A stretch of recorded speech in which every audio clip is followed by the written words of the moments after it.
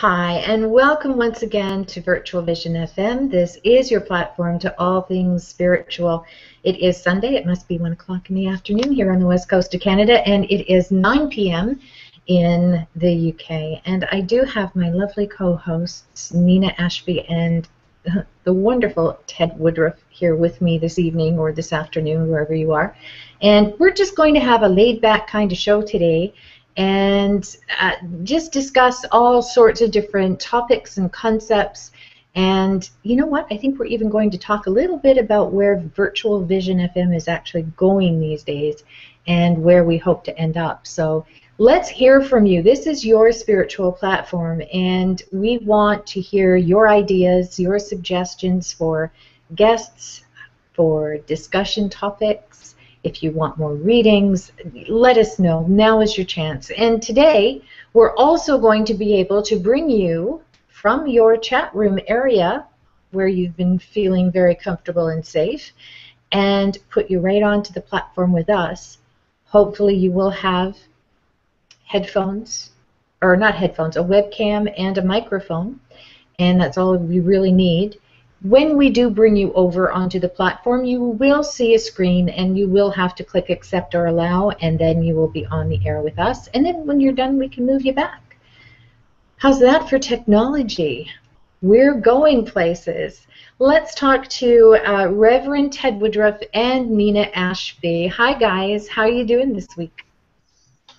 Hello, Ara. Hello, everybody in the chat room. Absolutely great. Um, loving the weather. We finally have summer here in the UK, and it's not so baking hot that we're uncomfortable, but it's been glorious, glorious weather. Today was a bit overcast, but we need those time too. It's that time too. So I really appreciate the weather. Whatever the weather is, I'm quite happy because variety is the spice of life, and we certainly have that here in England. You know, it's funny, Nina, not funny. Uh, we have been suffering horrendous wildfires here in British Columbia for the past few months. And I mean, even last week I posted a picture that was taken at 12 noon my time, and the sky was literally orange and mm. from smoke, um, the sunlight being filtered through smoke. We finally had rain yesterday. First rain I think we've had since oh. the middle of May. It hasn't been significant, but it's been a little bit, and it's probably better than right. So yeah, the weather, while it seems like an inane topic to talk about, um, there's some really serious consequences going on um, in a lot of different places, and BC is but one. And my heart goes out to all the firefighters who are fighting these dreadful things, as well as all the wildlife who are trying to relocate themselves in a safe haven. So, yeah, that's what's been going on in BC. So our has been, you know, extreme as well. How about you, Ted? What's up with you? I don't know what part of the UK um, Nina's living in because we've had really rubbish weather uh, today. Oh, um, oh, today was been, rubbish. yeah. Oh, oh, right. Okay. Yeah. I thought, oh my God. Um, we've had, we have, as Nina said, you know, and the Brits always talk about the weather. It's one of those things, politics, politics, sex, and the weather. The Brits and uh, the weather being the main one, and I think we mainly moan about it because it's so sort of random. Um, but yeah, it's been having a bit of a go um, here today. Somehow Wimbledon sort of took its part. But yes, as, as Nina said, it's been a nice sort of, it's been pretty good, and we've had some really hot days, and then not so not so bad and, and manageable sort of thing. So yeah, um, but down here on the coast, I'm 200 yards from the English Channel, which I say so often. It's got its own climate system, and you can seriously have sun, rain, hail, tornadoes, snow all in one day, you know, within a matter of minutes sometimes. It is really most extraordinary to experience it, but it just comes around and goes back on itself. And, and as I say, you can, you can get the extremes of all weather systems um, in the space of one day. But so far, so good. Um, it's uh, yeah, a little bit windy, a little bit rainy today, but uh, we're getting a bit of a summer every so often. As long as you don't blink, you won't miss it. That's right. That's right. I think this whole thing about wildfires, though, is really interesting because you know there are, there are certain trees that cannot germinate unless they're they've had the seeds are exposed to wildfire or to ex- the extreme heat of fire. And that all nature goes through these processes of having to destroy things in order for new life to begin. Isn't that an interesting concept? Because that even occurs with paradigms here on this level of existence. In order for anything to begin anew, the old paradigm has to be dismantled. Indeed. And in order for a new structure to be put into place. So so the, the earth has its wisdom, and even though we, you know, are in the path of the wildfire or this, it's inconvenient for us to have landslides or mudslides. It's it's it's an inconvenient for the animals, etc. There are reasons why Mother Earth does these things. Well, it's it's a natural cycle, isn't it? Yeah. Do you know what? There's all these fears of global warming and tsunamis and things going on around the Earth plane. And I know this might sound a little bit radical, but I've always had this pretty much certainty that Mother Earth will renew herself, and we worry ourselves about what we're doing to the planet um, and this, that, and the other consequence. I appreciate the Amazonian rainforest. There's big panic over that, and yet nothing substantive is done about it. We have nuclear power stations that every so often fail, or there's some big disaster. We're getting um, extremes of weather all over the all over the Earth plane. Um, and we put up defences for you know against rain and, and whatever. Um, the, I think it's the Chinese that are doing extraordinary dam situations out on the Mekong River, um, and, and there's all this sort of messing with nature and whatever. But you know, the Earth is a force of its own. It does have its own, uh, not so much identity, but but sort of character personality that personally I'm sure that way beyond our you know our personal existence at this particular juncture, um, that whether or not humanity dies out because of natural disasters, the Earth will continue to be, and it will repair itself, and probably repair itself remarkably quickly once we, as humans, uh, have cleared off, um, and a whole new exciting life um, form or whatever will develop from, from what is left behind from us. So uh, my personal opinion is, you know, there's all this worry about ozone holes and all of that and what we can do. We're not, uh, we're just, we're just titivating with it and, and we're, we're never going to cure it because we're too greedy to, to effect it over a long term. So it'll be what it will be and in a few hundred years or millennia's time we'll be gone and it, you know the ants will probably take over. You know there will be forms of life, or the crocodiles, alligators, sharks, dolphins, or whatever in the oceans, and and uh, probably be a better place for for all concerned without us around. That's my opinion on it. Well, it's interesting because I think my my take on all of that is is I I, I have to agree there, uh, but I also feel that Mother Earth knows her role, and her role is to be the playground, is to be the learning field. And so everything that we see going on with Mother Nature and Mother Earth is a direct reflection of what's going on inside of us.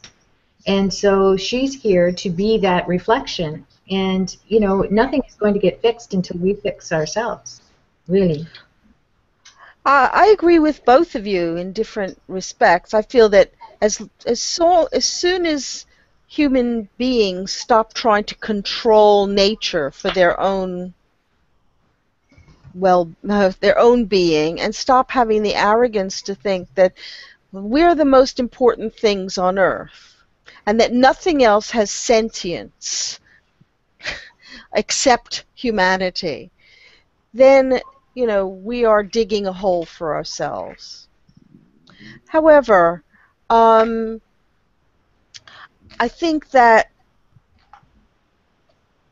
Mother Earth is not just a reflection of, of who we are, but of its own nature that does persist and will persist after humanity if humanity, you know, when humanity's been smacked across the face, so to speak, and um, altered in some kind of way so that the balance of power, shall we say, goes back to its rightful proportion. Well, that's interesting, um, and I know I agree, but the, there's another part of me that kind of makes me feel that there's no separation between the two.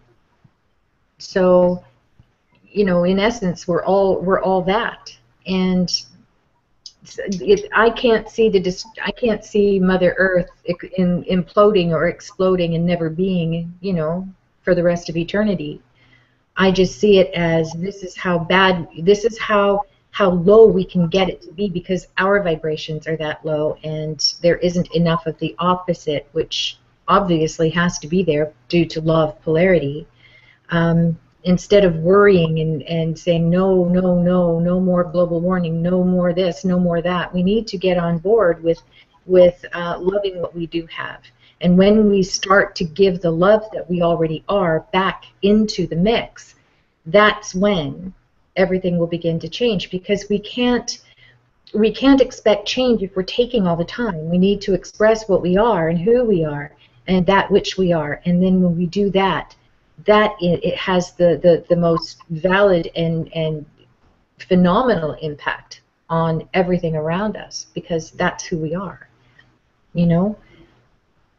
That's just my take on it there's, it's interesting. Colin sort of said just a little bit earlier that humans are not causing global warming.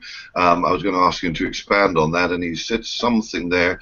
The Earth provides an environment for life to exist in whatever form, and we're doing ourselves no good at all, but exterminating other life forms for monetary gain and ignorance, which is pretty much sort of what we were saying there.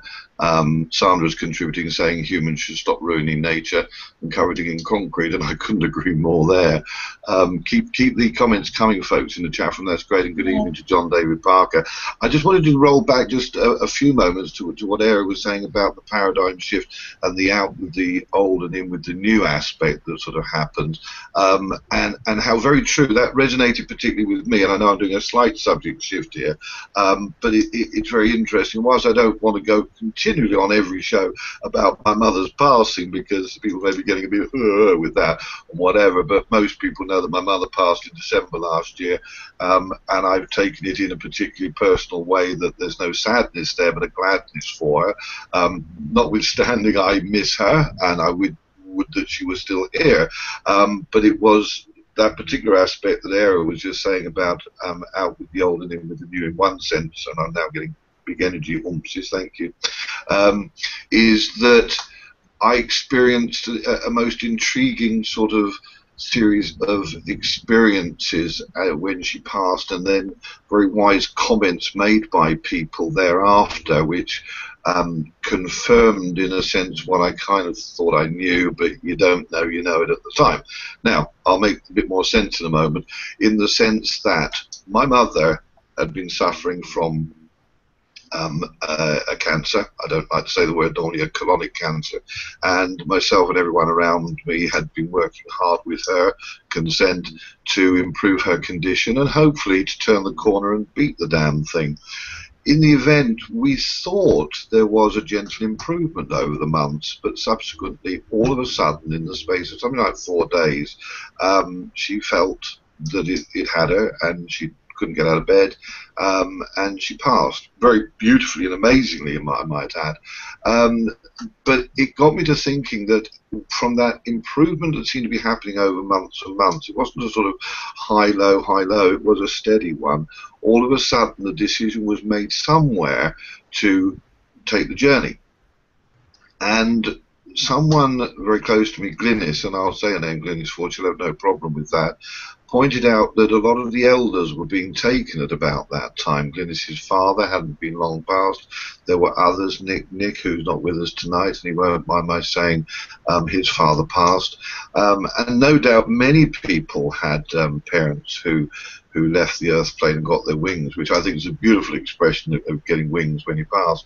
Um, but as far as I'm concerned with my mother, that, that transition that she made at the time she made it was made as much by the above as by her in conjunction with the above. Um, most definitely because there was that sudden decision okay everything appears to be in place down here i'm happy with for example how i edward is.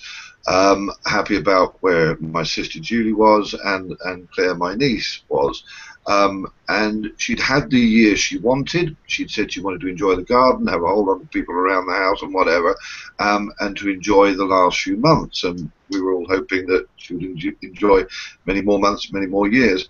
But that decision was made, and so it was the passing, in my case, of the elder to, to what I believe is a heavenly realm um, for a reason. And what has then happened is this bittersweet aspect for me, where of course, I'd rather have my mother still here. However, what is happening here at terms of the Namaste group would not have been happening to the same extent as it is now. And six, seven months on, there are extraordinary things going on. Um, obviously, I've had to put them sort of into action, but they've happened very, very quickly, very, very swiftly. And we have any number of workshops and courses and events and healing exchanges um, and, and all of that that have been my vision for years, which couldn't have happened when my mother was, was still here to the same extent. So there is that bittersweet aspect. I will always consider it that but she clearly made the decision in conjunction with her creator or whatever you, you, believe in is on that other side, which the veil is very slim and thin, I'm glad to report. Um, that uh, And, of course, one of the most crucial things for me, and I don't usually talk about myself too much, I find that ego thing gets into my head. Am I being ego by talking about me simply because I don't do it that often? But the fact that she works through me now now that is a glorious, glorious thing. That so there is an element of sadness. Of course, there's an element of sadness. I can say I'm not sad and I'm glad, but of course there's a sadness when somebody goes. But when you know that they're still there and they are absolutely channeling through you with the healing energy quicker than I may say, with all due respect to the archangels, quicker than them, and you have other people saying it's her, not just me in my head. I mean, I could be a nutcase for all I know. Um, the other people are saying it. They're they're seeing, they're experiencing, they're looking at her picture and seeing um, changes in a picture that's on the wall that she does move around or whatever. Um, so yes, the, the the aspect that Eric was saying about the paradigm shift of the old out and the new beginnings and whatever, that's a constant for everybody, from your hair growing, you know, going a different color to growing a beard. You know, it's the old and the new and refreshed, and you shave it and back, and back it comes. Absolutely every aspect of life, there is an element of death and dying and then renewal, and it's the same for departure of loved ones. It's the same for Mother Earth. It's the same for losing, you know, getting changing jobs, changing cars, changing relationships, growth from childhood through to youth and to maturity. It's an, a constant evolution of change and life and development, and hopefully for the better. And if it's not for the better, it's for the different. You know, I, I really agree with that. I, I so agree with that, and that is all due. And I think Nina, you'll you'll agree with this. That is all about the universal law of rhythm. Everything has a, a beginning and an end, and everything has um, there's just the, the, polar opposites, and that's the law of polarity. But everything has a rhythm. The seasons have a rhythm. The forest fires, Mother Nature has a rhythm. Everything is is is that. And when it comes to evolution, the natural evolution of things, I think we really have to pay attention how that affects everybody on a personal, individual level.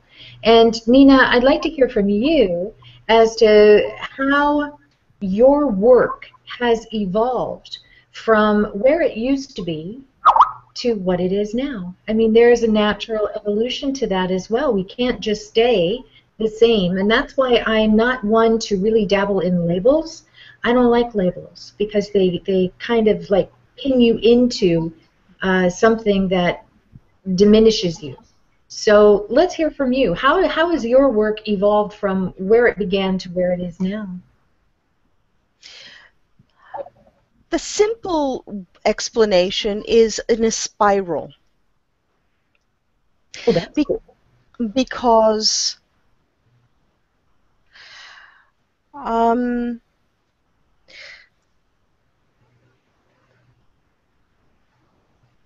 as I grow in as I've grown in experience, I've grown in confidence.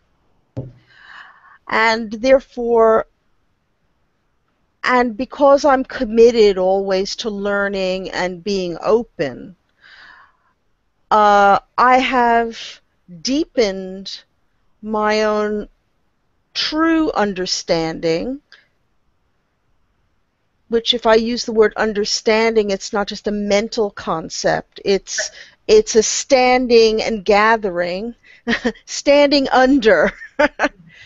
you know, standing underneath and looking up through the multitude of layers, the veils of existence, from the physical plane, getting getting an, a true understanding of the etheric plane, that electromagnetic field through healing and how it operates through the world and through individuals' worlds as well as my world, and then up into the astral plane where emotions and thought forms exist and how they operate. And that's a natural world for me because I was born with the gift of seeing auras. And then um, a much deeper understanding of the mental plane and the principles of the mental plane and creation and a revisiting of my early experiences with um, passed over souls, angelic beings, spiritual guides, my ability to move um, with consciousness in the higher realms and bring it through to the earth plane with greater clarity, not only in terms of my ability to speak to people, but also my own um, expansion of my consciousness so that I am conscious when I do it rather than disconnected and unconscious. Even though sometimes it's like I move over and allow something to some being to speak through me, um, I'm still there. I'm still present. I don't allow myself to drift off someplace and ha- not have Nina there anymore. So I've learned to, I guess, navigate these different fields mm-hmm. with with greater understanding and greater consciousness. And it's always very humbling and it's always a great privilege to do that. I also have the understanding now that I don't have to call myself a healer or a clairvoyant or a medium or any of those things. Labels again, right? Right. Yeah, exactly. I just need to be. And if I can be my best Nina and shine th- from my connection, then I'm always doing the work. It's not just when I sit down yeah. with a client in front of me who wants that wisdom. It's it's yeah. about it's about shining out. And yeah. I think that that's you know when when I am seamlessly doing the work, that's been my biggest achievement and after many many decades of having had com- more compartmentalized aspects or identification with different aspects of the work. And my pathway has been varied um, to bring me to where I am now and to bring that understanding to me.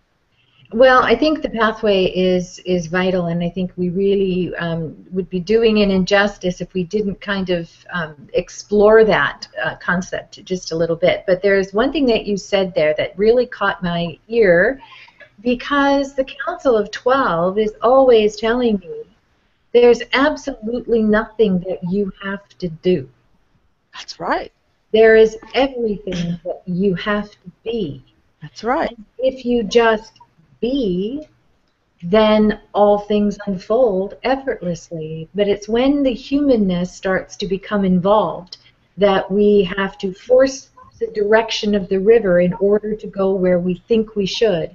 When in essence you don't even have to do that you just have to be that. You just have to be who you are and allow that divinity to to be expressed at all times. I think that's perfection. Perfection i agree and the other thing though that i think is that sometimes we need to have the labels to help other people understand what seems so natural to us and which wasn't so natural to us at one point in time. And sometimes we need, in order to communicate concepts, or we have to have the clairvoyant label or healer label because it, it's convenient, but to get stuck in that is not useful. Yeah, you know, I, I totally agree. And you know, I just I just have to think, you know, like again, the label the label situation is something that I've never been comfortable with. I don't like calling myself a psychic medium. For one thing, that's redundant. If you're a medium, you're automatically psychic. Exactly. Not all psychics are mediums, but all mediums are psychic. But people don't get that, and it's almost like we we have to speak in terms that are easily understood, but to me they're not quite valid. And so if I just allow myself, I don't know what the heck that was. That sounds My like a dog. dog. I'm so sorry. That was no, no, he was going, yeah, yeah, woof, woof. yeah. Um, but the but the whole thing is is that if you label yourself in, in one little box and say, okay, Ara, you're a psychic medium, and that's where forever you shall stay, then I am missing out opportunities for my own evolution, thinking that this is all I am. And really, if this is all you are, then you are not expressing who you came here to be. Mm-hmm. Because the whole reason for us being here is that natural soul evolution and to expand into all that we could be and just don't realize at the time. So your work, my work, you know, and I can only speak to my work, is evolving all the time. And you know what's interesting is that yes, I'm psychic and yes, I'm a medium, and I've been this way all my life. I I've always seen spirit, talked to spirit. Um, tried to convince my mother it was okay. She was like, "No, it's not." right? So I've always had that aspect. But as the years went by, that that was just what people are mesmerized by.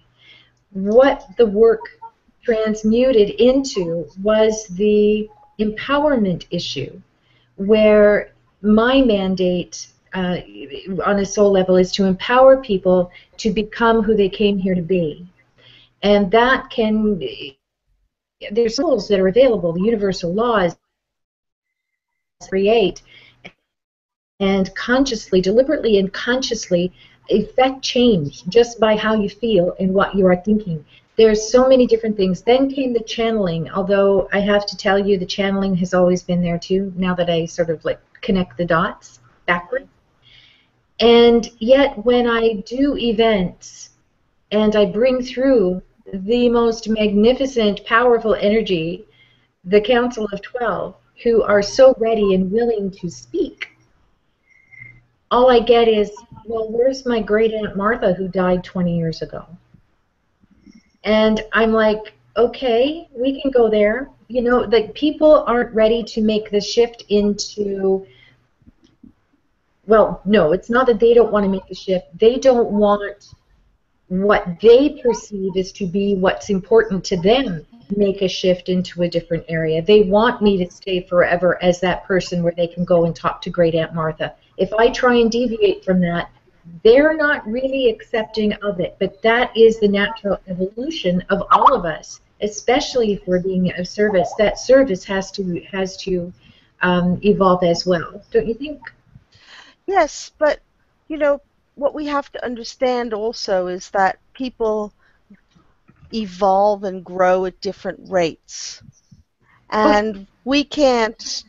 You know, we're here to show a different vibrational frequency and what could be possible, but until they're ready to make the shift themselves, to Oh yeah. plug plug in and and and experience allow themselves that experience then we you know they will continue to ask those questions Yeah, and that's fine. I don't mind, you know, it because it's not my job to go out on a crusade and drag all No. these people with me, whether kicking and screaming. Um, I do what I do, and as long as I'm evolving, those that that can benefit from that evolution will always be attracted in. And the ones that need that other aspect of me will be attracted in. It's not a big deal. I'm just, you know, finding it interesting. Sure. Labels that people kind of put on you are the label that they want or the label that they need and not necessarily the label that I am destined to wear this lifetime. Does that make sense? Sure. Absolutely. Can I just can I just say something about this? It's interesting you say about labels and whatever. Um, my my take on this, and I hear what you say, is that you know the the reason sometimes labels are required is in a very practical sense is that we identify ourselves to the world. As simple as that. And Okay. and I'll give you an example that were I just Ted Woodroffe, okay, I would be just Ted Woodroffe. It's difficult to imagine me without the rev going on. Um, when I trotted up to Wembley and engaged with David Icke, because I've got to throw his name in at some point during this show. Um, I was introduced by our dear friend Simon Ludgate as, hey, this is Father uh, Rev Ted. He's known as Father Ted. Actually, I wasn't that I had ever remembered, but that's how I was introduced to the guy, and then I was known at the People's Voice and around by many people as Father Ted, which is a very lovely avuncular sort of aspect to it. Um, it identifies me. Now, what I wished to do and still wish to do is to take the word out there. It's not about ego, absolutely not about ego, but I want to be the, I'm happy to be the face or one face of many of healing and angelic and spirituality that gets the word out there across the globe. That's my mission to do that. And in a small way, but effective way, I get out there on social media. I'm on this show, I'm on other radio stations or whatever, um, and I'm you know working locally in, in, in the Kent area. I'm quite happy to be the face of uh, one aspect of spirituality down in a small part of Kent, and I don't mind if I get known across the UK and across the world as one guy who had just an impact, and if I only affect one person um, positively, then then my job is done. So I do think this question of labels, um, it, it has a requirement and a need to identify, but what people shouldn't do is get wrapped up in necessarily the um, what, what they don't necessarily understand about the label, i.e., with yourself, Ara, as an international medium, but then that identifies Ara Parisien as not just a nice name of Ara Parisien, which is quite a cool sort of stage name, I would suggest. Um, it, it, it identifies for you for who you are. Oh, yes, that she is an international medium. But if you've got a brain about you, you are a whole lot more than what your title is, where a sir, a lord, a lady, or people with PhD after their name, or BA, or, or whatever, and honours, that's not who you actually are. It's just an additional title that tells the world that you have some experience in a certain area. But as I say, you are a whole lot more than that label, uh, as we put it. I mean, none of us want to be, you know, like a supermarket produce and have literally labels put on us. And I think that may be where some people kick off. But it, it identifies us to um, locals, Well, um, the masses. And I agree. I mean, there there's there's a certain point where they're required. How else will we take? You know, if we say to someone, "Oh, bring me a knife," or "Bring me a fork," that's a label. That's a name. We need those to navigate this plane of existence for sure. But that doesn't define who we are. And you're quite right. There's a whole lot more behind behind the label, and that is the person and the spirit. And then, you know, if, if it takes Ted Woodroffe Reverend or Ted Woodroffe Healer to identify that this is a person that on the surface wears this title and can do these things, it's by interacting that then they'll be able to see that there's so much more. And they will they will want to experience the so much more most definitely, but at their own time, and that's what Nina was saying. You know, everybody reaches that at the right time. So what I was trying to get at is that the label doesn't need to put you in a box and put you on a shelf and say, well, it's your time to come out because you're a medium. Um, you know, I mean, we need to evolve past the box that that people see us in, and that often we can get trapped by seeing ourselves as that too. Oh yeah, if we if we trap ourselves, then we're lost. Um, but I think people will forever put uh, spiritual people into a box. And for example, in the case of mediums, there will still be, for a certain generation in this country, as assuming the mystic meg aspect that, that you sat down at Brighton seafront behind a load of curtains and you dive in, and there'll be this funny little old lady looking over a crystal ball and giving you readings and telling you how many children you're going to have that you're going to meet. meet uh, in the case of a woman, you know, a tall, dark, handsome stranger. Well, maybe for a man, I don't know, a tall, dark, handsome stranger. Um, that that we we the, the, the populace do get fixed in in their views of um, spiritual aspects. And another thing on the spiritual side, you see, there's spiritual people or people who are working in the spiritual, and then there are spiritualists, which is a whole different aspect from, to my mind, uh, of uh, you know there are spiritualists and there are spiritual workers, and there are so many different angles to the spiritual um, that perhaps we've labelled ourselves by saying we work with spirit and all of that, so we give this impression of mysticism unintentionally or or, or mystique, and people don't quite get it and think that you you know you talk to the dead, don't you, and that sort of thing, um, and so it takes probably years, decades of your life if you get the chance to explain well actually you know consciousness i mean you know you could you could talk all day about death and, and the comparatives across the world of how the brits in comparison to the peruvians deal with the passing of, of the souls and their belief system. Um, mm. that it, it, it's just there's a lot of ignorance out there, and there's there's also a lot of knowledge out there. But there are a lot of people who are very fixed in their day to day what they're doing, and so they will just say, "Oh, a mystic." Not of interest to me because I've got my head down. I'm working. I've got the family, got the children. Um, I have other more important things to be thinking about. So we get labelled, and we may never break that label with some people because we're yeah, but that's not what we're here weirdos. for. Yeah, no, that's, not actually what we're here for. No, but we're also not here we're to not here necessarily to go out and convince the, the ones who don't want to be convinced, who aren't interested. There's no point in trying to do that. You're banging your head against a brick wall. You need to be addressing the people who, in my case, as a healer, uh, you know, people who are in distress and pain and discomfort or whatever. In the case of you ladies, with, with your readings and the comfort you bring through that, and and and you know, you said to I've said in the past, you know, I'm not a medium. You go, oh, but Ted, but you are. I, I could equally say to you, ladies, you know, you're healers. And you may say, no, no, we're not. Actually, you are uh, healers in your own right because of the comfort you bring, the confirmation of the continuation of consciousness and existence. That that uh, so, hey, I can say it for you know for not for the first time on here that there is no such thing as death. There is not an end to that. It is coming back to what we were saying earlier a newness, a new wonderful form of existence when we step off this particular thing. Um, and if that's one thing we could tell one person and get it through to them that death is not the end and death is not disaster and death is not black, that we certainly in the UK we're of that mind, where other culture, other cultures do actually celebrate um, death and, and, and, transition because they kind of get it sometimes. In other um, you know we say we're civilized in the west. I don't agree well, with that you know, for one that's, minute. that's one thing that i'm always striving to do because i'm let's face it i'm a little virgo and everything has to be logical and rational and practical.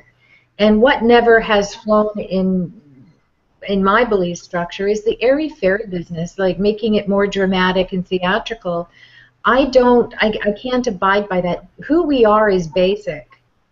It's just basic. It's it's a natural birthright. It's who we are.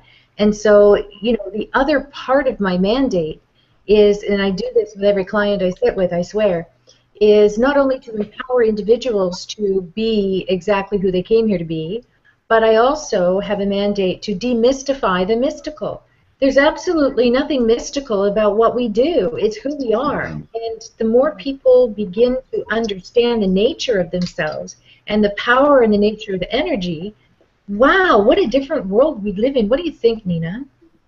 I agree. I mean, I get a lot of people coming to see me, particularly when I work in my role in it's at I work in a big department store in London called Selfridges, and um, twice a week as part of what I do. And a lot of them come and they say, well, I've always been interested in this, or I've always had these feelings, but I'm a bit scared about it. And I said, you know, and I've always thought I wanted to learn something, but I'm scared of it. I said, well, in this case, you know, knowledge and education will help you understand what it is so you don't have to be scared of it because there are explanations behind these phenomena. Even though you can't, you may not be able to see it, you have an experience, and that experience is real and, rec- and replicable. Yes. And therefore, it is real. Just because you can't see something doesn't mean it's not real. And so this is about expanding your view of what reality can, it does um, encompass.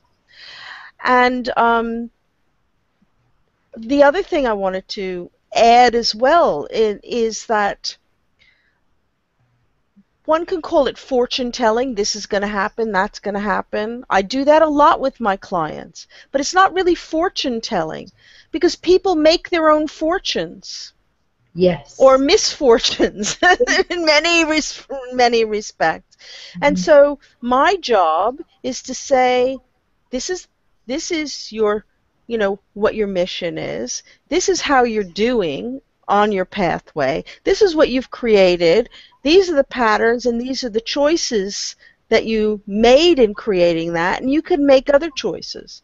So even if we're talking about attracting a lover or a husband, or your relationships with your children, or your job, it's all about consciousness because this is the field where we play out our consciousness and yeah. where we can realize it.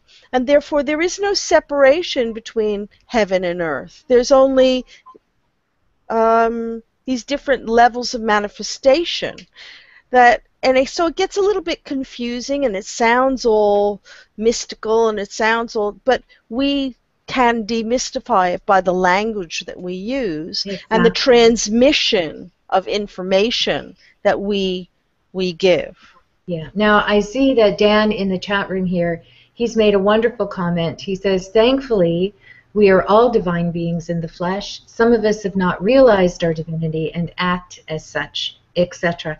And that's so true, and that's the nature of the of the evolution of the path.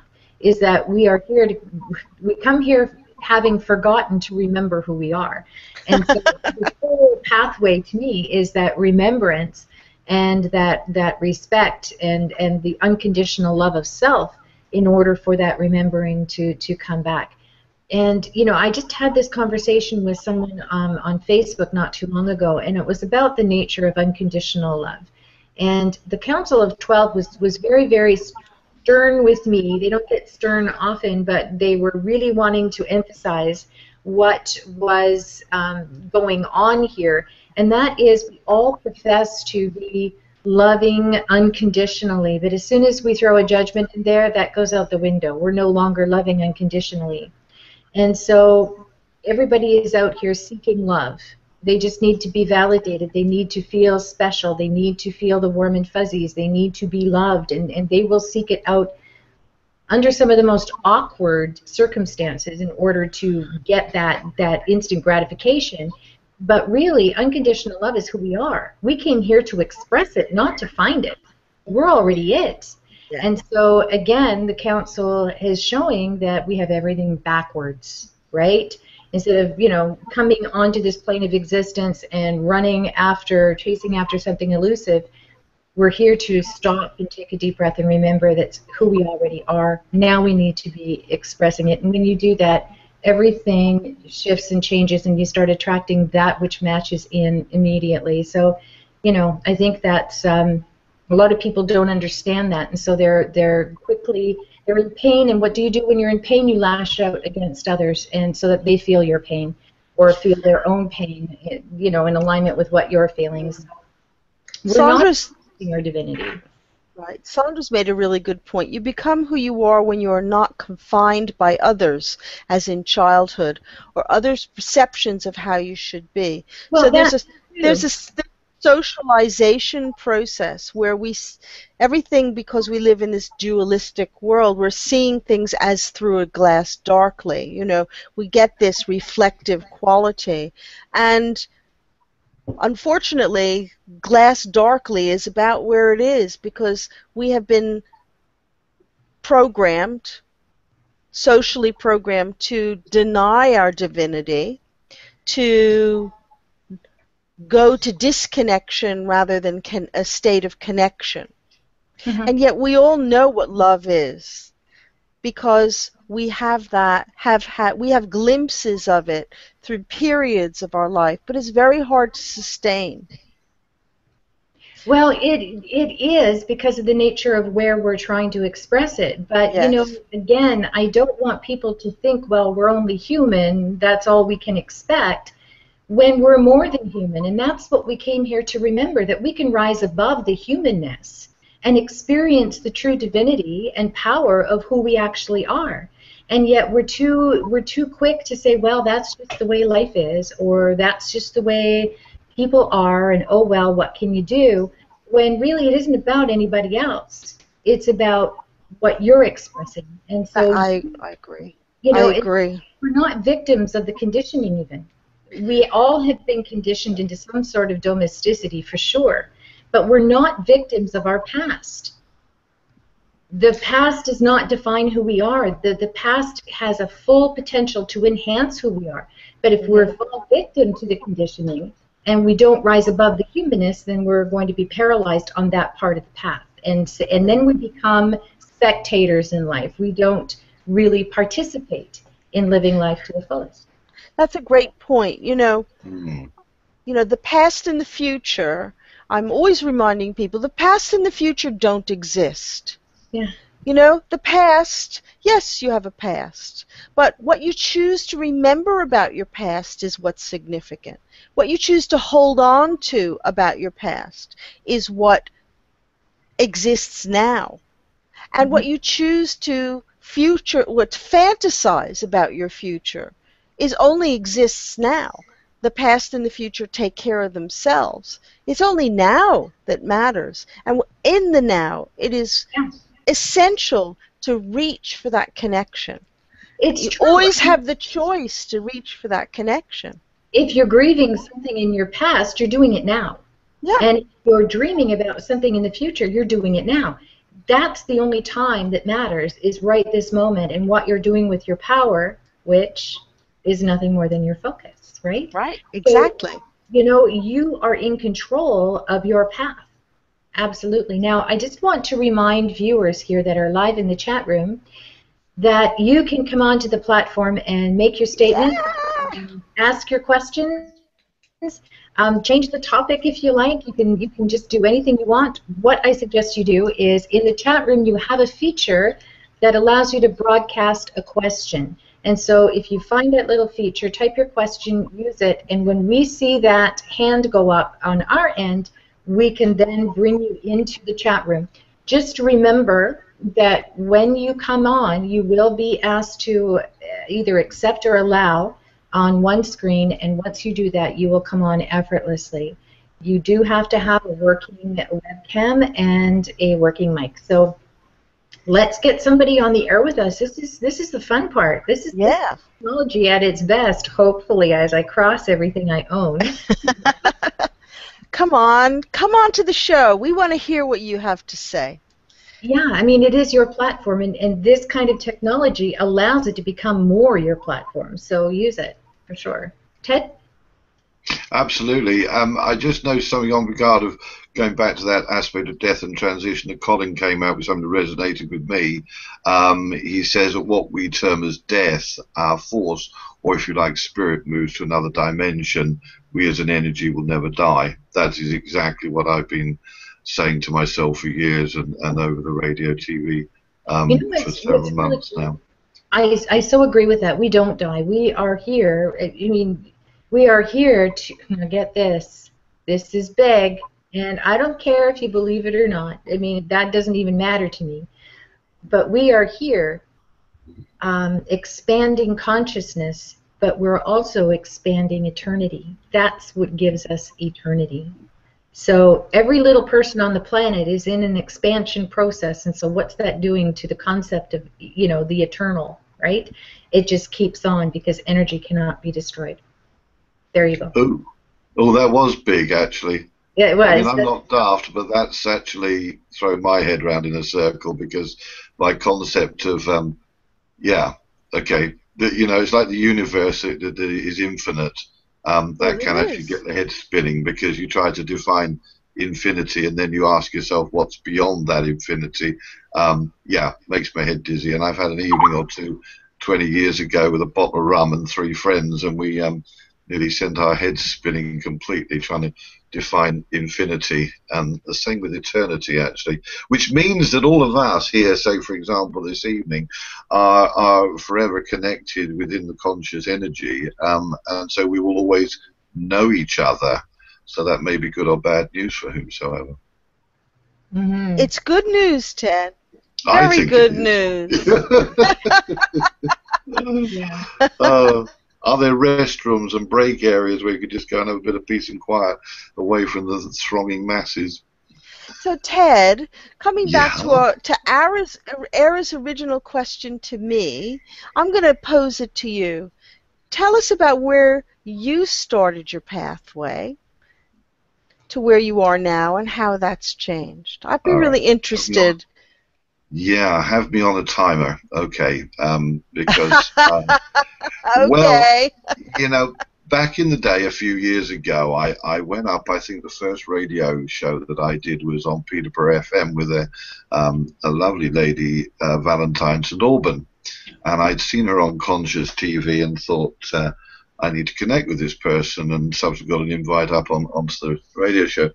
Um, and I was nervous as anything. I had no idea what to expect. I, you know, I, you have these visions of a microphone being put in front of you, and you're going to have to talk on subject. And uh, you, you know, I was not comfy to, st- you know, but actually, radio shows aren't anything actually like that. For the benefit of anyone who's watching, who's going to be a guest, or confirmed for those who have been guests.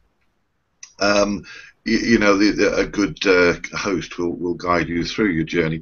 Um, as far as I'm concerned, yeah, uh, I've had what I feel personally has been a very interesting life so far, and it, it remains interesting and, and is very exciting and will forever be so because there's so many experiences to have.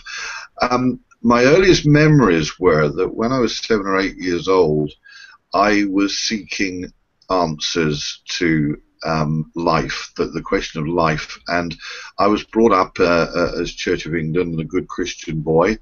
And I carried the cross in, in Great Chart Church, which is local to here. And I was very proud to do that. And I'm proud that I did it now. And it's where we'll be having the service for Mum in a few weeks' time for the ash scattering. So it'll be interesting to be maybe doing an address there um, as an adult as opposed to the guy who was crucified. Um, but at seven or eight years old, I was asking questions about God and the angels and religion and belief and, and, all of that because I wasn't, as I still am not, in a sense, content with being told that God is omniscient, omnipresent, He's all around, or it's all around, or whatever. Um, I was curious about God sitting on a cloud with a big long white beard and a white robe surrounded by angelic beings. It, it didn't seem practical even at that early age. Um, and my argument has been since discovering my answers to it and, continuing to this day is that we are taught, certainly in the UK, about God and the angels and religion and, and that belief system. Uh, and there's a variety of different um, aspects to, to, to Christianity. There's the, in this country there's Roman Catholicism, there's Methodist, there's Pentecostalist, Seventh Day Adventist, Jehovah's Witnesses, a whole uh, series of them. And then across the world, the amount of different religions from Islam um, to Sikhism to Buddhism to, to whatever. I, I wanted the answers. And so for the next so many years, I found myself at any opportunity of meeting with a Roman Catholic priest, I would ask what God was and whether they could explain it to me. Uh, certainly Church of England rectors, etc.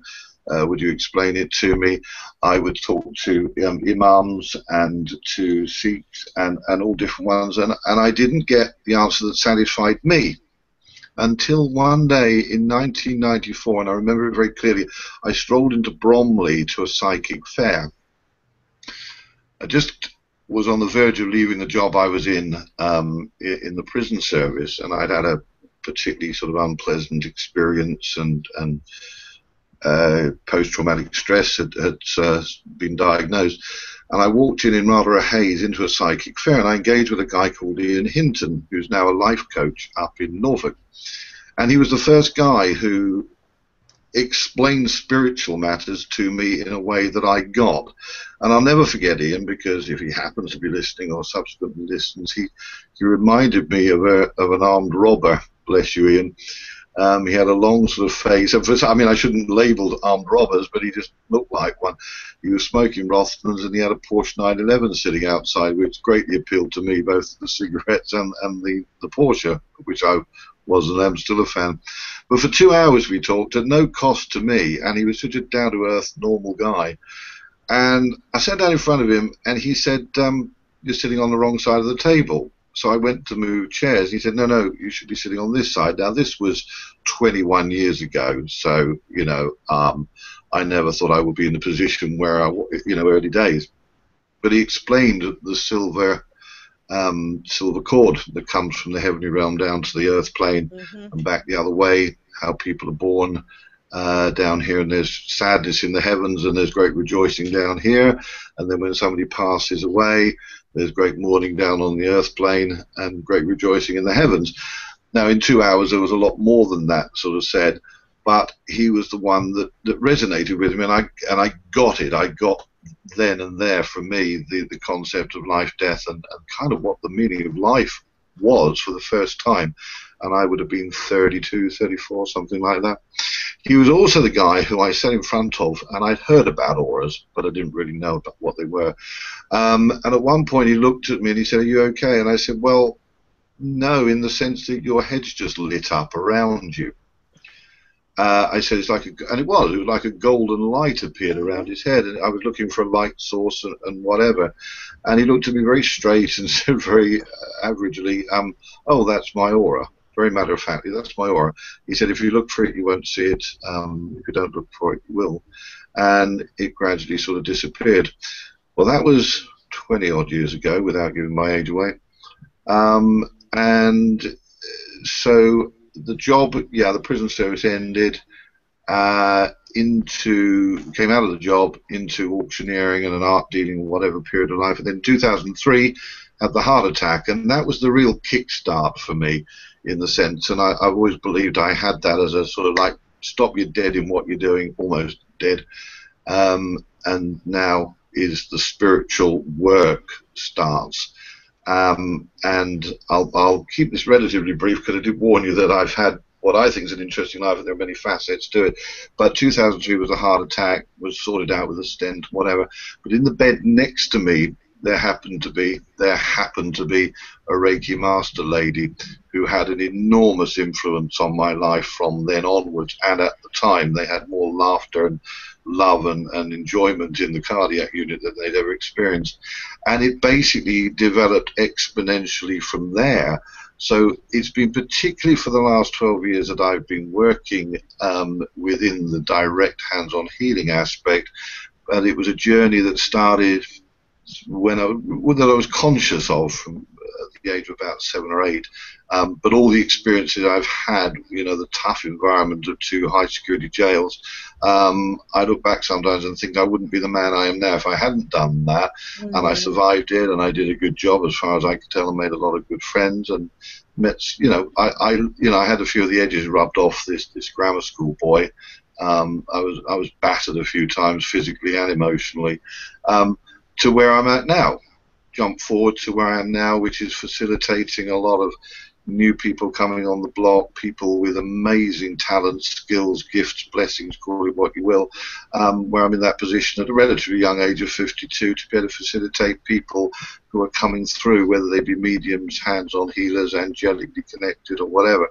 So yeah, a full life. I could go more. Um, I'm conscious that we're just past 10 and I don't know where that hour's gone. So, um, yeah, thanks for the question, Nina. I hope that gave you a flavour well, of, of so what my life's been like. It's so interesting to hear about people's pathways, and I think that um, um, I said that my life was a spiral because you start with a small, with a, a series of questions and perceptions, and then you, you know, um, grow and you always come back to the center but but at another level of understanding, and that's very much what you've expressed too. Um, this kind of spiral journey, um, Yeah. revisiting what you already know, but then being able to perceive it in another way. And Exactly. um, that's kind of what our auras are like, and that's what the universe is like. It's not um, time and space are. It's very hard to get your head around it. It is that infinite because we are we live in a finite world, so to describe infinity is is too mind-boggling. But but um, the more I work at the higher levels in the Akashic record, for example, I I know that um, this concept of time is just irrelevant, and we can redefine everything that we do and are, and and that is what's so amazing, so inspiring. And that that just isn't that just isn't there for people in the know. That's not there for people who live a spiritual kind of existence. This is for each and every physical being on the planet that you are in control. You're in control of your physical healing. You're in control of your physical in, in your mental spiritual well-being.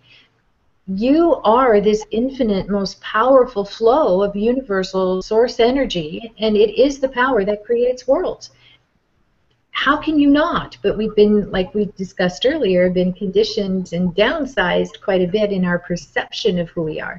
And that's where the dilemma is for many, many people, for sure. That's an interesting kind of um, pathway for you, Ted. And, you know, I, it's funny, I was talking to someone, and this person actually is going to be a, guest on our show in August. I'm really excited about her. Um, and we were talking about all sorts of things, but the path kind of came up. And I realized where I came from, eh, the past is is is um, not somewhere that I want to go back and redo, right? I mean, it is what it is.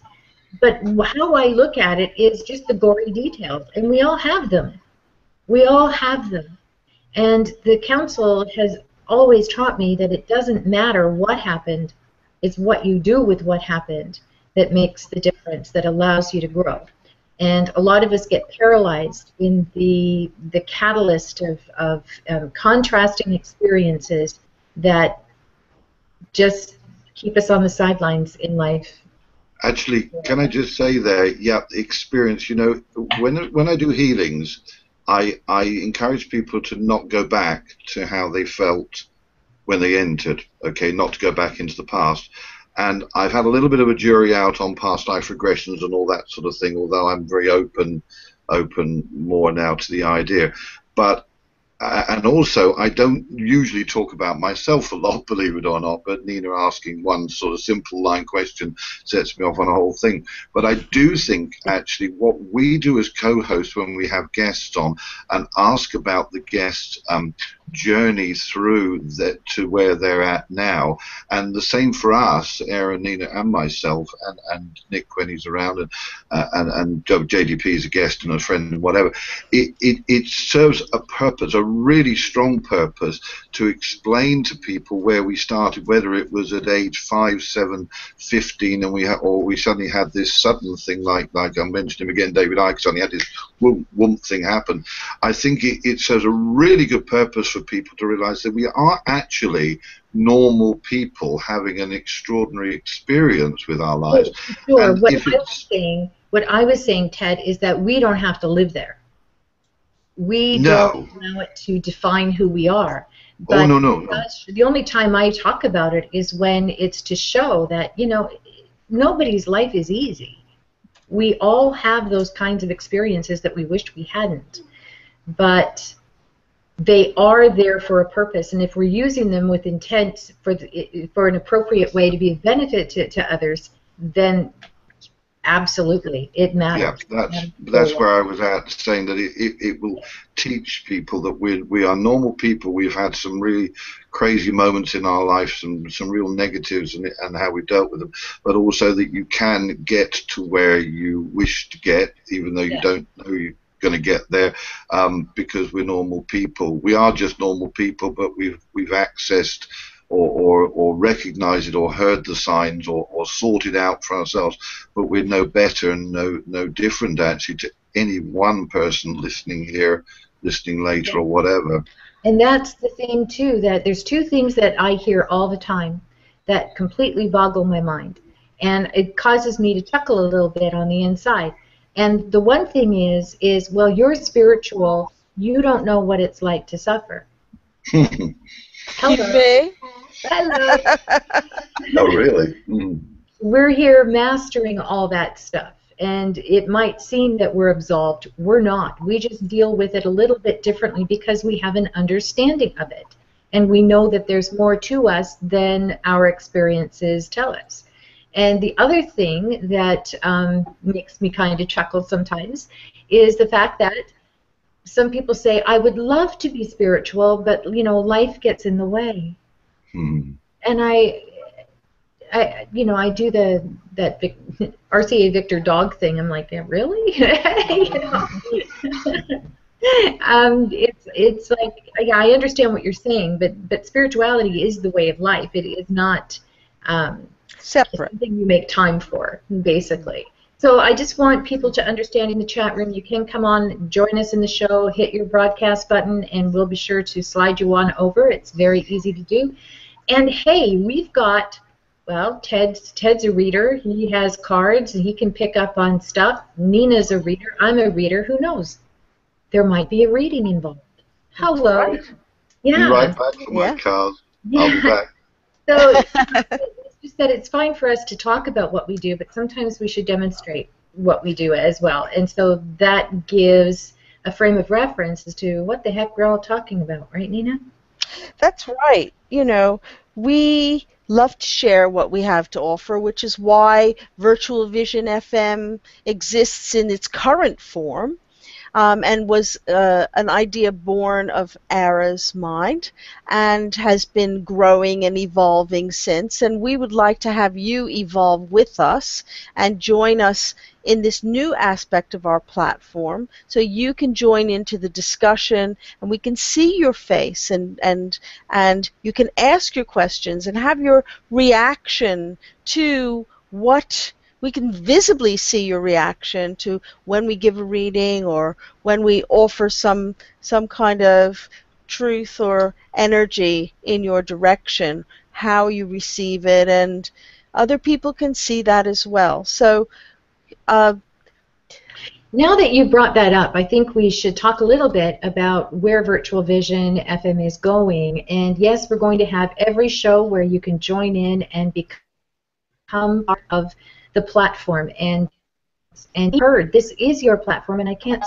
stress enough um, that this is the way to go. Now we had put out a call, a couple of calls, several times for virtual visionary MP3s. Now, unfortunately, with this platform, we are unable to play them and do them justice the way they deserve. So what we're planning on doing, if you don't mind, is now in today's new technology, we have the capacity now to create little videos of ourselves. So why not send us a video of yourself stating your name, and if you feel comfortable with first name only, that's great. Uh, first name, uh, your location, and that you're a virtual visionary, and send us that YouTube video, and it should be YouTube. We will put it on our website and we'll put it on our Facebook page, and you will be amazed at how many people all over the world um, can connect with each other. And it's really, it would be interesting to see how far reaching the energy of Virtual Vision FM truly is. We're going to have some guests as well, and what we're going to start doing, right, Nina, is to do hopefully weekly or bi weekly um, promo videos to let you know what's coming up so that you can mark your calendars appropriately. So there we go. And we have some amazing guests coming up. I mean, really amazing guests. I mean, we always have pretty great guests, but you're gonna you're just gonna love it. And I think that um, we're having some remarkable readers coming on, and we would love to have you have a reading and be visible while you're having a reading. Um, and uh, so, yeah, join us because being on the chat sh- being in the chat room is great, but also being able to see you is great too. Exactly, and I can tell you, uh, Nina was helping me out um, with a test run for a future guest and to make sure that she could access the platform okay, and she could. And we, we spent some time speaking with her, and we're really excited to have Elaine Thorpe on the show with us on July 26th. Now, if you recall, Elaine Thorpe was on our show when we were on Blog Talk Radio, and she channels the energy called uh, Jonathan and uh, and Sophie, a little girl named Sophie, and, and a few others. And Yes. while it was really, while it was really impressive and and profound, just listening to her, you can just imagine what it's going to be like to actually see her do that.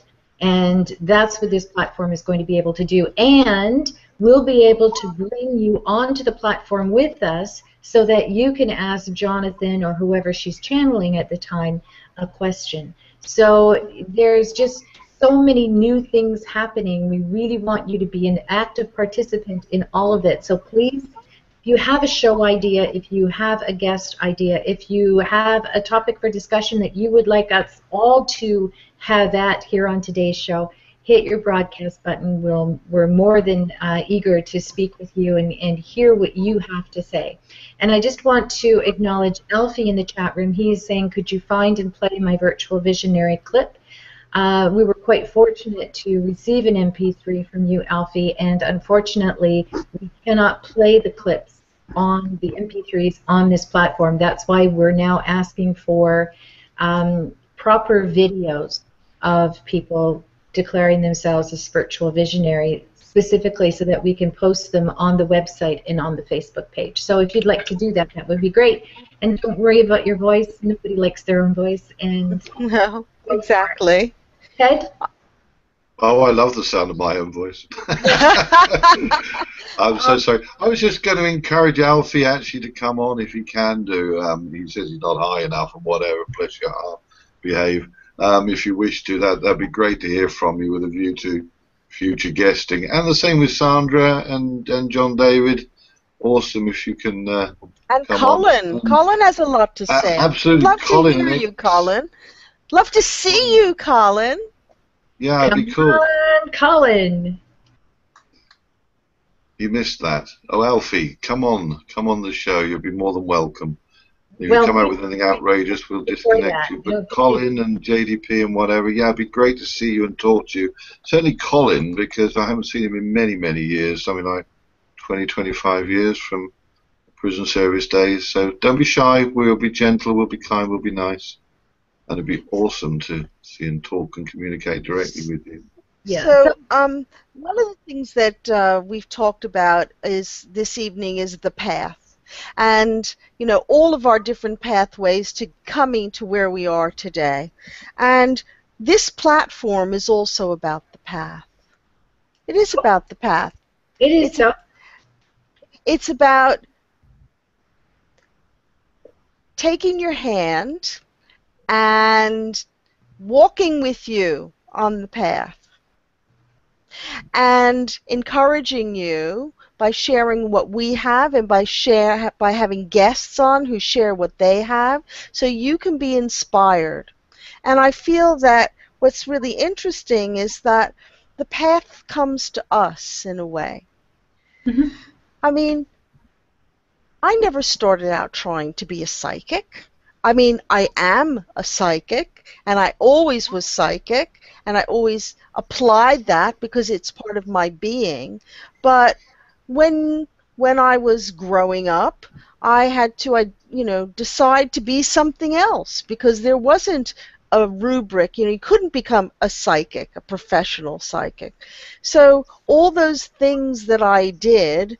Healing, psychology, art, esoteric studies, meditation, um, spirituality, different kinds of divinations, accumulation of knowledge, was driven by my desire and need to seek connection. hmm And then it comes upon you. The pa- you know when you realize, oh, I'm always on the path. I'm always on the path. But but the path is like, oh, I'm on the path. you know, you have that aha moment of Exactly. being there, and it, it. So this is very much a way of sharing with everybody that Right. path. Right. And and what's good about the path, what I've learned about it, is that we just didn't get dropped out of the sky and just land wherever we landed and expected to do these these grand things. We actually orchestrated a lot of it and through the universal laws, the minute you were conceived and that imprint was starting to take hold in human form, uh, the minute those little feet hit the earth, the planet Earth, in the first breath you took, the universe started shifting so that it attracted to you exactly what you needed to go through to get where you came here to get to, right? So yeah, it's we are in control of that too, right? We can get distracted and, and all that kind of stuff. But really, the path is, is where we are. It has nothing to well, it has everything to do with where we're going. But the path is actually anywhere that you are, and it's your conscious um, acceptance and, and understanding of that that causes that epiphany to say, "Oh, here's the path. I'm on it. Whoa, right?" Mhm. But Yeah. you know, you have to grow into that awareness as well. Now we've got some things going on in the chat room. I just want to address here. Um, okay, Dan, that's really good to know. I'm I'm inclined to agree with you there. But, um, that's not something I'll say on air. that's so funny. Um, Read the next one. Colin. about from Colin or from Yeah, Dan? Colin. If you want to avoid Dan, read, read, read the Colin one. I'm not avoiding Dan. I thought I think Dan Dan's comment is pretty funny. It's just that I Great. really Yeah. couldn't read it on the air. I'll read it if you want. What? Colin? No. I don't Uh, mind. Colin, yeah, Colin Colin's is saying about the monetary thing, the monetary reimbursement. Uh, he said before that I've Yeah, never asked that's for a really monetary good reimbursement. to to touch. Go ahead, Ted. Oh, sorry. Yeah, yeah. yeah I'm uh, just what, what he's saying that he's never asked for monetary reimbursement for sessions. Um, I have this gift for free, so I share it with those who seem to need it. And actually, that leads me on from what you, what both you ladies are saying about, you know, recognizing who you are and the path that you're on. Um, I, I'm very much aware that a lot of people have to make a living. Um, as we all had to at some point, and I'm only at where I'm at now through a mixture of good fortune um, uh, and and the spiritual aspect of it. And just sorry, I'm going slightly out of sequence here, but going back to what Nina asked me about my journey originally, that at age seven or eight was the first time I thought to myself how wonderful it would be to put your hands on someone and to heal. At that age, I remember clearly in the playground a moment at which I thought that and put my hand down in front of me and thought how wonderful that would be. Now, what happens, and incorporating what Ara said at one point at about that life gets in the way, that was said to me by a very wise man 20 or 30 years ago, the warning that relationships, money, politics, etc., can get in the way of it. Now, I'm I've been doing what I'm doing for the last 10 or 15 years. Before that, I had to be making a living, um, you, know, bringing money in in order to have a house and a car and, and food on the table and everything like that. I, I'm not sure that I could have, even if I had been on that direction in my life to go and to become sort of spiritual healer. Um, the, uh, not to mention that the, the, the reader aspect of it and, and uh, card reading and sort of um, the mediumship aspect of it, I- I'm not sure that I would have been comfortable with an ink that there would be sufficient income, if anything, from doing that. So I think very often it comes to perhaps middle age, maybe sooner, I don't know, and I'm just speaking for myself and those around me, that that it's rare, I would say, that you start at a young age and go straight into becoming a professional psychic or medium. You have to, one, in a sense, have life experience, but also to have got yourself in a position where you can support yourself, and then you can go by that very ethos that Colin mentions about monetary reimbursement. I've always been very much not about the money and I've had to be persuaded to receive or accept money as an energy exchange, as it was explained to me not that long ago, and that people pointed out that you've had to pay for your certificate, you had to pay for your insurance, you had to pay most recently to to prepare this holistic center, but even then, I've done it out of um, legacies that I've received from my father's estate and my mother's estate now, um, and I would rather do. I'm, I'm giving because I wish to give. I don't have to do this. I could lock those two front gates at the front of the house, sit back, and live relatively comfortably without doing any of this. But it's been my vision, my calling, my desire, my wish, my oomph that that uh, allows me to do this. So yeah, for me personally, money is an, is an, sometimes a necessary evil, or people feel that they need to reimburse you um, simply because they're humans and, they, and they've got to do it. Or sometimes they don't necessarily feel that they're getting value for money if you offer your services free of charge. People might, not that I've ever received this sort of money, but you imagine a healer who said, look, you know, okay, 20 quid for half an hour. If I were a healer who said, actually it's 200 pounds for half an hour, there would be people, I'm sure, that would pay that because they think, oh my God, he is going to be offering me something very special. Well, I wouldn't be offering anything different for two hundred pounds than I would be for twenty because it's a gift from the spirit. It's something I give. It, it's miraculously powerful, um, and it, and it, it, and it's awesome. Um, but money is a funny thing. It, it it it oils the wheels. It facilitates many things, fortunately. But I think there's many people who work in the spiritual or are of service in the spiritual arena who are very iffy about money, and, and understandably so, because it's not not my way, not not many people's way to be trying to make money out of it, you know, or to become rich out of it or wealthy. That's what it's about. Well, I'm going to take the opposite point of view. Oh, good. yeah, um, carefully, yeah. Well, in some ways it's opposite. In some ways it's not opposite. Um, I never set out to take things from people. I I see that um, I studied. Aside from my natural gift, I studied for 15 years before I started to give readings and offer healing to people, and um, people wanted to come to see me, and I was. I felt that when I gave things away, what I noticed was that people often didn't appreciate it.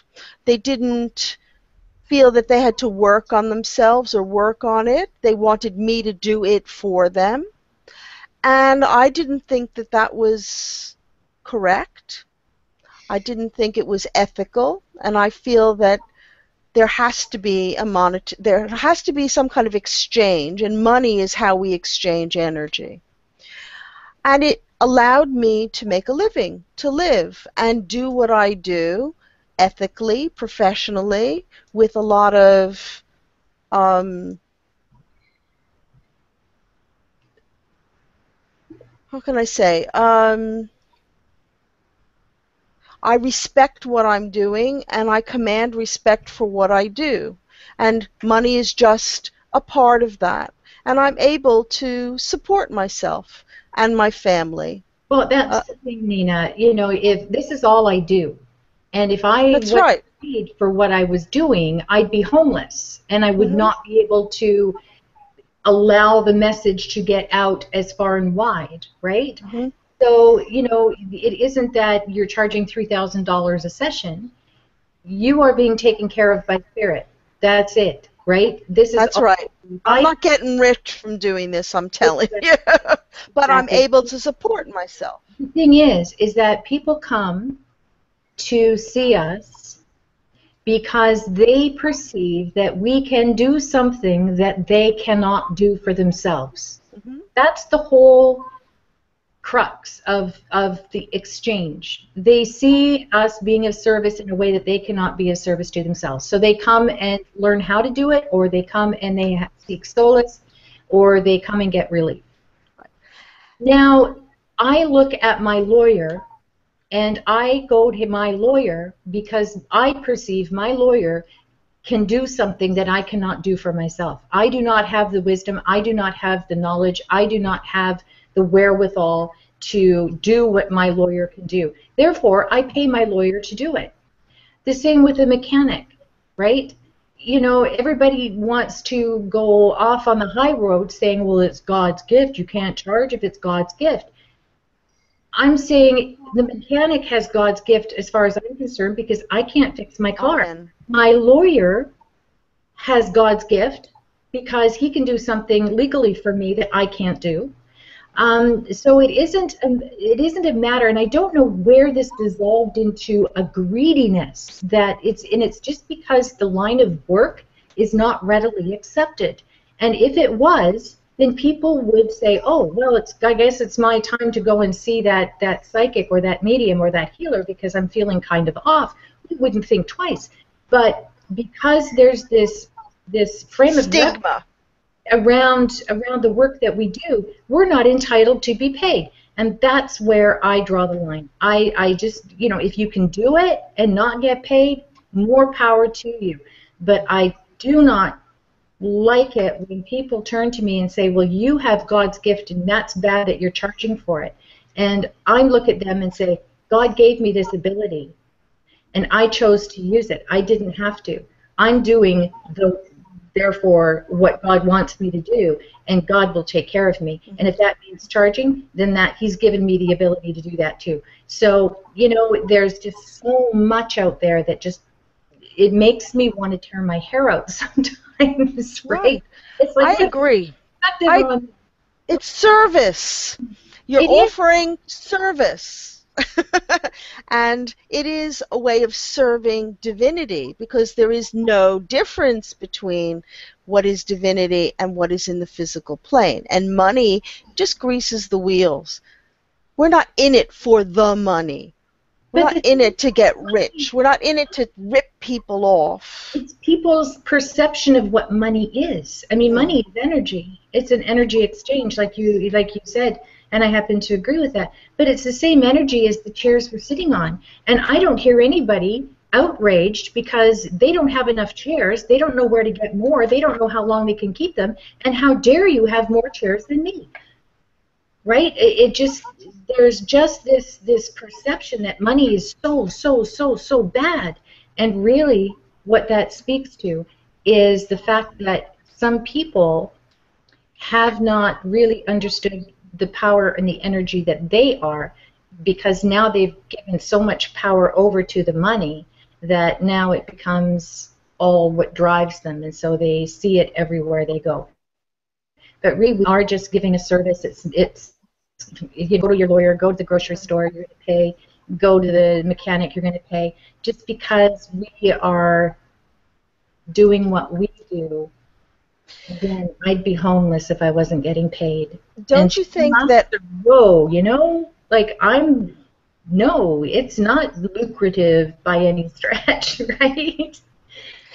don't you think that being a mechanic, having mechanical sk- talent is a God-given gift, or musical talent is a God-given gift, or being a great strategist is a God-given gift. They're all God-given gifts. And people have to study and take time to nurture those gifts. So, why should it be done for free? And as I said, I noticed when I gave things for free, eh, they were not appreciated. No, and and that's true. Um, and that's just the human psyche at play too, though. You know, Hmm. like again, you start talking about lawyers, and and let's say I went to my lawyer and I pay $120 an hour, and I find out that you're paying 180. I'm thinking one of two things. I'm thinking, wow, yours must be better than mine. What are you getting that is so much more than what I'm getting out of my lawyer? Or I'm thinking, oh wow, she's really getting taken, right? but you know, it's that's just the way it goes. The one thing that I do want to, Alfie is is saying that he's ready to come onto the platform now. So should we bring Alfie on? Yeah, for a little while. Why don't we do that? Okay, Alfie, hope you have a question uh, handy. Let's just see what we can do. And just remember to click your screen to accept and allow, and we'll be away to the races, hopefully. Come on, Alfie.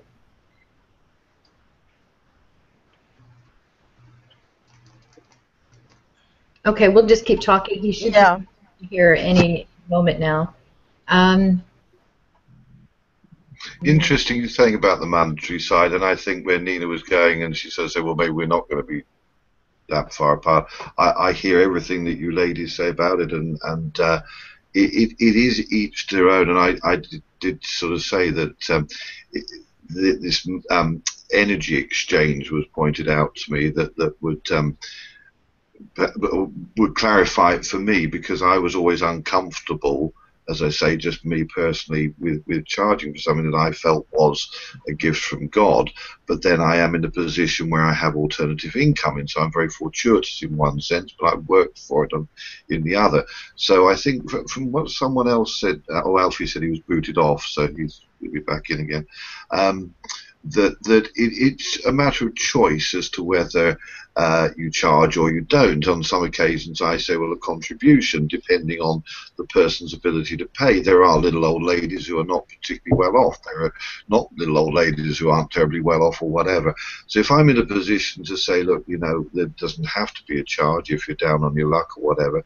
Equally, um, my jury's out on this, as I say, because when it's a monetary exchange and people want value for money or expect value for money, um, then it's in the moment, I think, as far as I'm concerned, anyway. Well, you know, and that's the thing, and I'm, I'm glad you brought that up, actually, Ted, because what people don't realize is that I may charge because I need to pay my rent, I need to get groceries, I need to pay bills.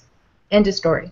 Yeah, What people don't know is that I get emails all the time from people who have questions, who just need a little tiny bit of my time, which turns out to be an hour, an hour and a half, right? I set aside an, enough time during the course of a month to offer complimentary sessions. It's not about the money, but I do need to be prudent and understand that I need to to be responsible and pay my bills. So you don't hear about how many how many of us in this line of work are giving complimentary services or That's bartering services. Um, you don't know how many fundraisers that we do because you know we're not out there saying look at us look how good we are we're doing this for free and you know you should you should appreciate us it has nothing to do with that we do what we do and because we happen to charge then we're frowned upon because you know say it like Sandra, it's a gift. Sandra makes a very valid point about one could always barter. You give a reading and they sort out your plumbing or cut grass. I mean, I've had that sort of thing we offered. do that all the time we right. do that all the time all the So time and work on a sliding scale for people who Yeah. are on low incomes. Don't charge the full rate. They charge what they can afford. I mean this isn't about taking people's money and you know using them for in a ne- in a negative way. Money is a means of giving and receiving goodness balance in everything and i could i could have three full weeks of complimentary sessions and i'll be pulling my hair out because i have to make the rent. And then all of a sudden spirit just says okay here you go. Boom boom boom boom boom. And my week is full and i earn the money that i need. I don't earn extra. I don't earn the moon right? I barely make it but i make it every time. And That's you right. know, just following your instincts and listening to what what feels good and what is necessary. I'm here to be of service. I'm not here to be a walking bank. You know, that's not part of the job. There's Alfie. Hi, Alfie. Hello. hello alfie Hello. Hi, Alfie. We can hardly hear you, Alfie. So if you'd like to turn up your sound a little bit. Can you hear me now? Yes. yes Ah, that's that's good welcome Uh, w- wicked. Hello, guys. Hiya. So, Alright. uh, I don't know what to So- say. Did you have a comment or a suggestion for a discussion or Um, not really. I just thought I'd try out the um. I just took Ted's advice and got on the cam um on the mic. That's How you been? cool. I like the um, Um, transformation that you're doing for the show. It's a Thank you very vibe. much. Thank you, Alfie. It's good to have you participate in the show.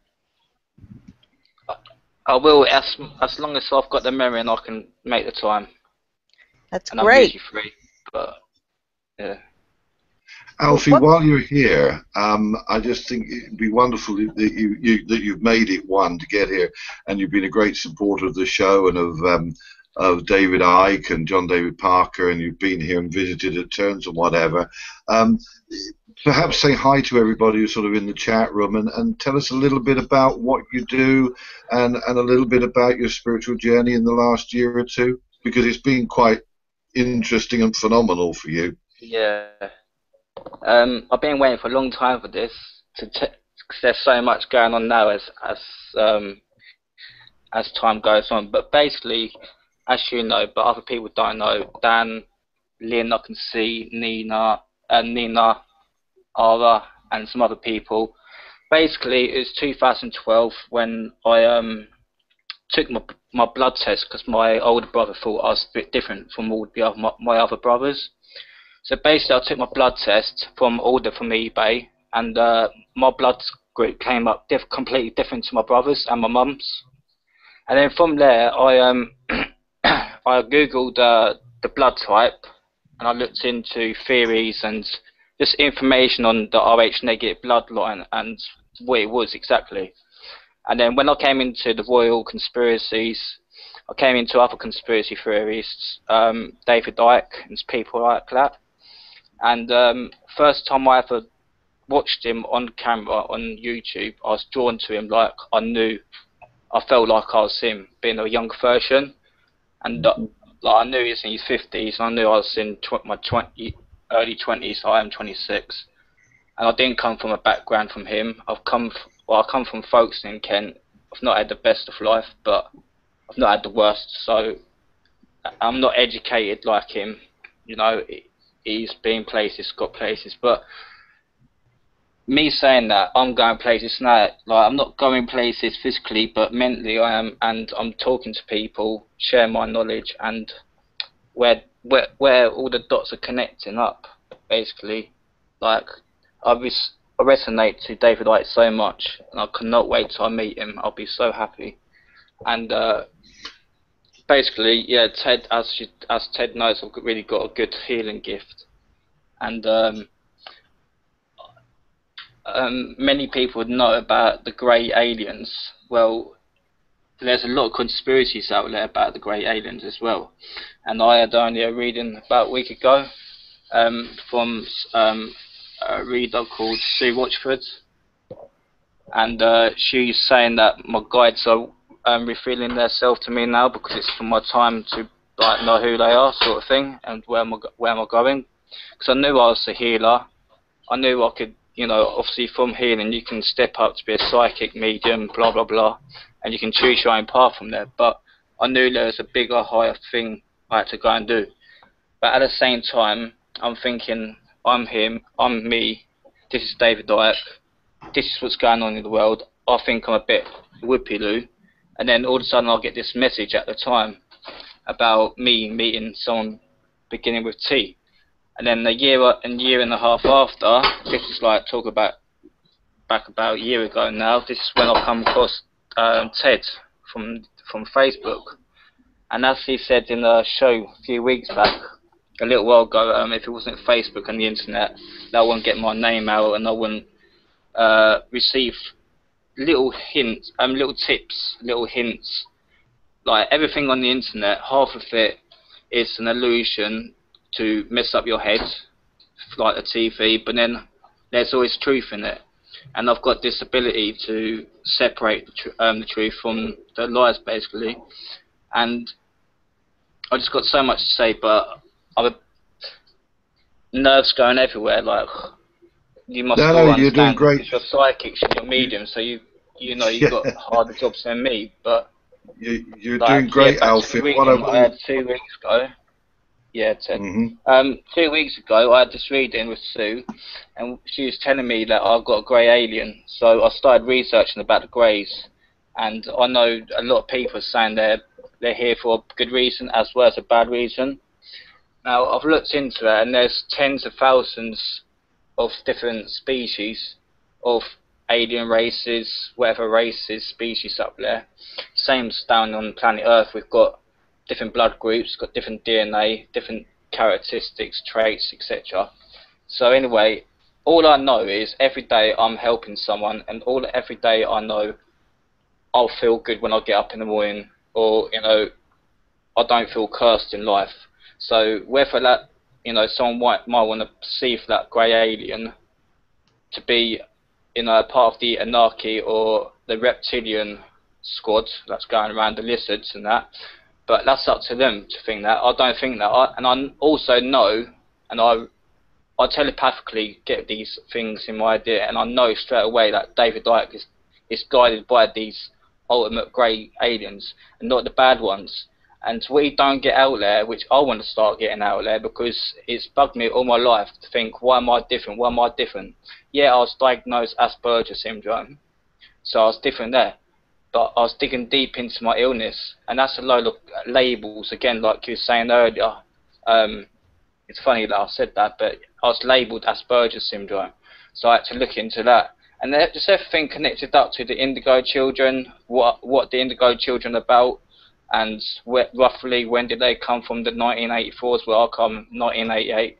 So I was four four years in for the transition, and then it's only from like everyone asks me, like who I've engaged with, what's changed me because I wouldn't say I was a bad person, but I wasn't a good person. I wasn't doing better than what I should have been as a human being, and that's what I do now because I appreciate and I am open up to spirit, my my higher self, myself, as well as beings around me, you know, and uh, it's a learning curve for everyone, and not everyone is ready to be awakened unless I'm wrong or someone wants to say something, like you're more than welcome to give me your opinion. But yeah, how, that's Alfie, how I see it.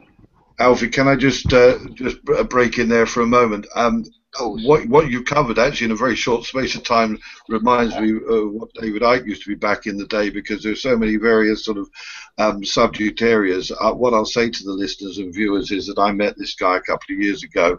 Um, watch him watch him on Facebook, watch him develop over the next few years, um, because he is without without a doubt a phenomenon in his own right, and there he is actually on video now. Um, keep an eye on what he's saying. Some of it's rather random, some of it's quite extreme sometimes people might think, you know, you know, a little bit crazy, and Alfie accepts that I have these views. We're, we're, we're great friends, but watch this guy because he's going to go places. He's already doing amazing things. Um, he's got medicine man healing abilities. I'm getting huge chills that I'm talking about him now. Um, and we have a, we are going to be having him on the show because uh, at some time in the relatively near future, because as you can tell, there's a lot of information he wants to impart to everybody. Um, a lot of it and we'll we'll do it in we'll do it in a sequence on, on a on a future show, Alfie, so you get a, a, true platform to to explain uh, your thinkings, of which there are many, um, and focused in and individually dealt with. Um, I know, and I believe Ara and Nina know that you, you've got a lot to share with, with us all um, out there and to us individually as, as the co-host here. Um, I'll hand over to Ara or Nina if you'd like to ask Alfie a question or thank him for contributing. Well, I'd like to say something, Alfie. I think that you bring up a very good point um, with respect to indigo children, the evolution of souls. We've been talking about pathways and we've been talking about evolution in this program. And when I was growing up, I didn't have, even though I was gifted, I didn't have the opportunities that you and your generation of souls have to develop. Um, because we had unconscious parents. You know, the population was not talking about psychic and spiritual things in in the in the in, in the open, more open way that it is now, and there wasn't there has been an evolution of social consciousness with respect to these matters. And we've had influxes of, you know, indigo children, crystal children, um, and very old souls. You can see these children when they're born, they come in, you know, looking old in, and looking at, at um, looking at you with a great deal of focus in a way that babies, when I remember seeing them, never had in the same in quite that same way. And their ability to do things and their ability to know things is being nurtured now because of all the work that spiritual adventurers have been carrying out. So you're really fortunate because you come into it into a time when people already ripened to an extent and in the flow of civilization where that evolution can accelerate because that knowledge is available, readily available, in a way it always was covered over or kept, kept secret. Yep, very spot on.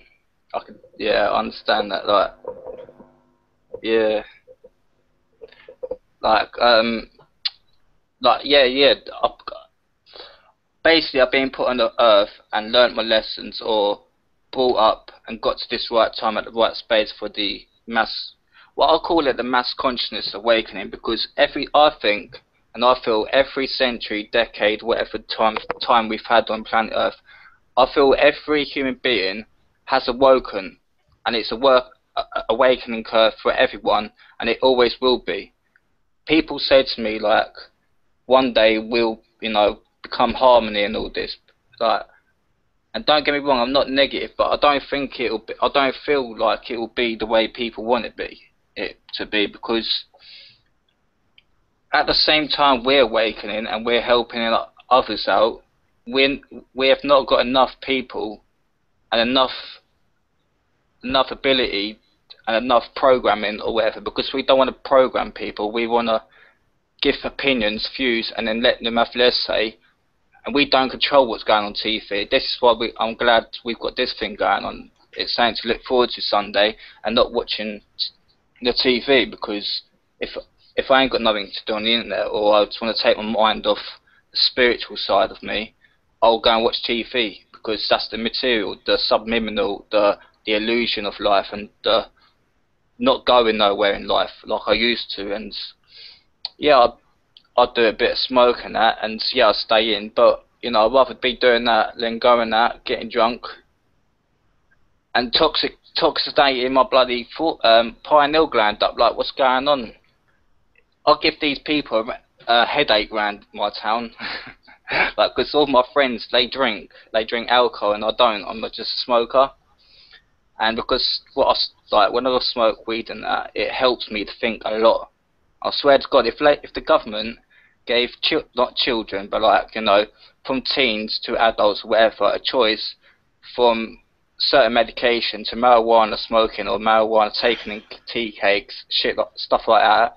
If they'd done that, the people wouldn't be slim like me because I was on Ritalin from the age of 12 to the age of 16 to 17, and then the the government basically are the higher high, high of the figures, but they control the doctors. The doctors control me or the people, and he controlled me like a puppet. And he just took me off the my Ritalin, my medication at the time that I was relying on every day. It's you know, if you're a smoker and you don't go without a cigarette on that day or drink or whatever you do, yeah, you're gonna be craving for that. So where I don't do Ritalin now, like since that age, but that's been years ago now. So I don't crave for anything speedy, rush or anything. I'm more of a mellow guy, and it helps my spiritual stuff. But mm. but that stuff, that Ritalin, does damage our health and our and it makes people slim. And like if they you know prescribe the marijuana, whatever way they want to do it, it will help people think wiser, more out of the box, you know. But I understand also why they you know, do what they do, but they don't go right, the real right way around it. The government, I mean, like. Yeah. I don't know if anyone's aware of Snoop Dogg. this is a little example. Snoop Dogg is one. Uh, you know, he comes from a background of East Coast gangster land and all that, and he smokes marijuana, yeah, and all that. Now they've legalized it over a certain place in America. They, the Illuminati are using him as a puppet to promote marijuana now over over in America. Now, in the last few years, we've been arrested, searched, everything, busted house, gone to jail, whatever, over a bit of marijuana. They should be doing that for guns and what's hurting people on the streets, and not selling the drug drugs to the gangs and getting. You know, the world's messed up, and I'm lucky I come from this, but this background, but I was lucky I didn't get involved in too much. So bang spot, spot on what Nina was yeah. saying that I'm you know I've just got here in the right time. Well, you know, and it is an, a, a learning curve for everyone. It, it just that there's some that are coming through with uh, being more aware. And it's interesting that when you say this isn't a message of doom and gloom, nor should it have to be, because the universe, there's a duality to everything. And so, in as much as we can focus on what's going wrong and what isn't good and, and you know, what needs to be changed, we can also look at what's really good because just as much as we see the bad stuff that's going on, there's also good that's going on. It has to be in balance. That our perception is that that's typically what there's more of. When there isn't, when it comes to the alien factor, I, I absolutely love the fact that you bring this up because aren't we all aliens in nature? And really are. And you know, there there might be ten thousand species out there, and there's good and bad. There has to be because it has to be in balance, and it's your vibration that will attract in whichever ones that are going to work with you, right? So you know, we, we have more power and control than what we understand, and it's really wonderful to to be able to get that kind of perspective happening for a lot of people who are dealing with a lot of fear in a lot of these particular areas. I am just so happy that you came on and and let us see you and let us speak with you. You have a lot to say. That's that's evident. And we're just going to move you back now into the chat room, Alfie. Uh, we're going to be closing up shop here very, very shortly. So thank you once again for helping us out today. We really appreciate you. Thank God you bless for helping. Thank you. Thank you. Thanks for stepping up. Nina, I've lost the ability to move back, so if you I will, I'll move him back. Yeah, thank you. Oh no, he's back. He's out. No, he went. He went. He oh. Went. yeah. So um, this has been extraordinary today. It's been we've been all over, been all over the place, haven't we? We've been evolving. We have. This conversation has evolved and sort of morphed into all sorts of different things, and it's really been interesting. And the archived viewers that are going to be watching this after the fact, they have not been privy to the excellent, excellent conversation that has been going on in the chat room. Yes. And you know, so we encourage those archive viewers, if you possibly can, if it's within your time frame to do so, please join us live because we care about what you think and we care about what you have to say and we care about what you want to see more of. Okay? So the other thing I'd like to remind mm-hmm. our archive viewers is that on our Facebook page is always posted, we have a time clock, a world time clock. So wherever you are in the world, whether it's 9 p.m. Mm-hmm. Greenwich Mean Time or uh, 5 p.m. Eastern Standard Time or 1 p.m. in um, Pacific Time, we're there for you, or wherever you are in the world. Uh, we want you to join us. We want you to join in.